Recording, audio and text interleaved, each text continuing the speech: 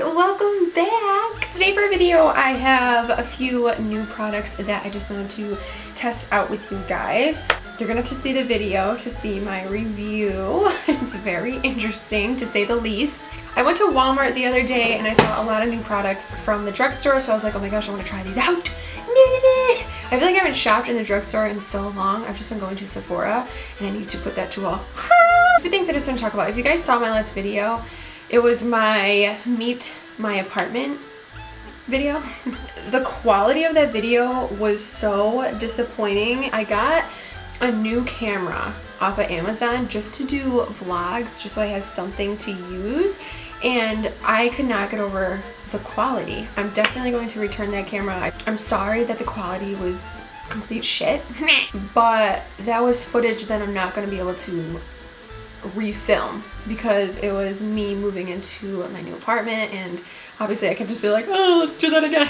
That's the last time I'm going to be using that camera because it's complete garbage. If you guys haven't subscribed, make sure that you do. It'll mean a lot to me. Should jump right into this video. Okay, so I slabbed on my brows real quick. Now we're gonna move into skin. It's Hard Candy Sheer Envy Instant Eye Fix Under Eye Treatment.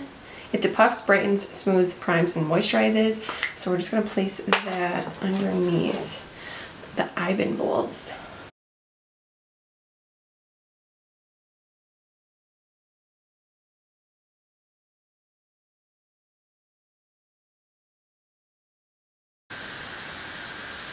That'd be good for no makeup makeup days. Subscriber gave this to me, so that was so nice of her. I really enjoy that. It actually feels good underneath the eye. Now we're gonna go into the foundation. This is the Rimmel Clean Finish Foundation. This is in the shade 340 Nude. I tried this in store it definitely oxidized. So I went down a shade. It comes with like a little spatula applicator. It's so weird.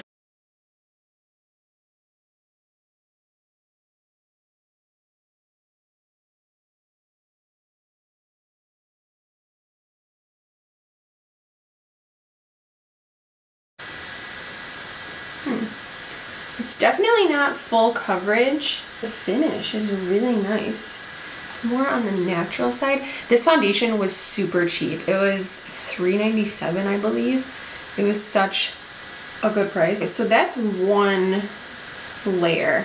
Now, if you've been watching my channel for a while, you know that I'm not a super full coverage kind of girl. I actually like when my freckles and stuff peek through. I just don't like when I have a mask of foundation on. I think it kind of emphasizes texture a little, making me look older than I am. From far away it looks really good. So far I'm not crazy about this foundation. Milani Touch and Erase Concealer. Got mine in the shade Medium Light. Oh, there's this little spongy in it. It's so funny.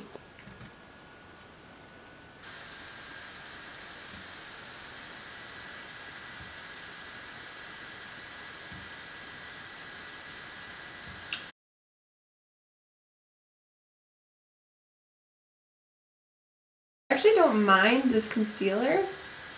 It's not the best, but it doesn't look that bad underneath the eyes. Rimmel Match Perfection Loose Setting Powder. This is in the shade Transparent. I think they only have one shade. Comes with a little puff, which is nice. I love these for after I spray my face with my setting spray. I just like tap it into the skin. Um, I think I'm gonna go into this Flower Beauty brush. This is actually on sale because Walmart has discontinued Flower Beauty. The packaging's so cute. This feels really soft.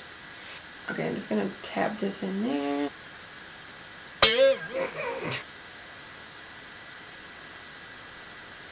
Try this powder underneath the eyeball. I feel like it lays on the skin. It doesn't really melt into the skin. My skin looks like crap. My skin now looks super textured.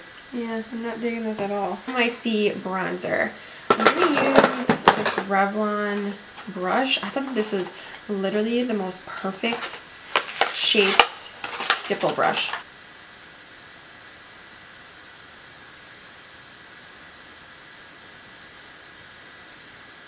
Gonna take my blush brush So now we're gonna try the Milani highlighter. I love the packaging, it looks really pretty. Oh my god, these face products are not working for me at all. This emphasizes texture. Oh, so this is like the biggest fail. You see how bad my texture looks? First shade I'm going to go into is Rosemary, which is actually my mom's name, so I thought that was kind of funny. Kind of want to do like a fall look.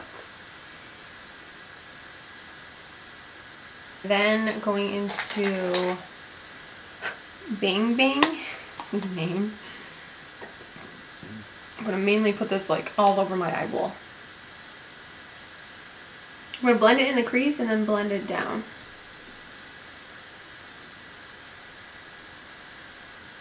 Alana, which is like this shimmery purple. Ooh, that's pretty. It has like a red undertone to it. It's really cool. I'm gonna go in with Harley, which is a dark brown color right here. I'm gonna smash that underneath my lower lash line.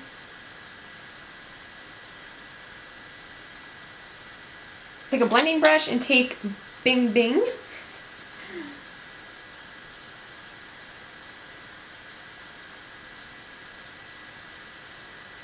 Lola in the inner corner. This is just like a light champagne color.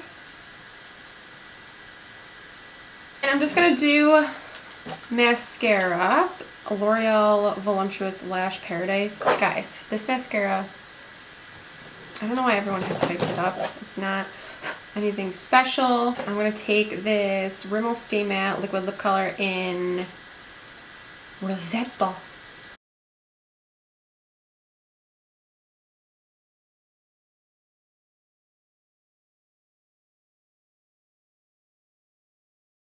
I'm just going to take some of this Tarte Ready Set Radiant Spray, shake it up.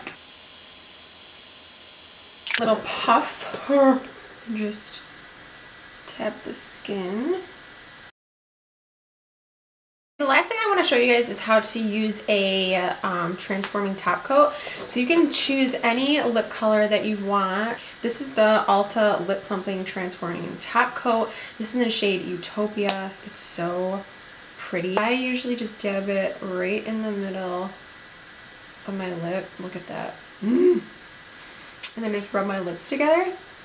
That completes this makeup look. Hope you guys enjoyed. A lot of the products actually didn't work out for me, which is unfortunate, but sometimes that happens, so well. That's why you gotta keep your receipts. Thank you so much for watching. Make sure you subscribe, and until next time, I'll talk to you guys later.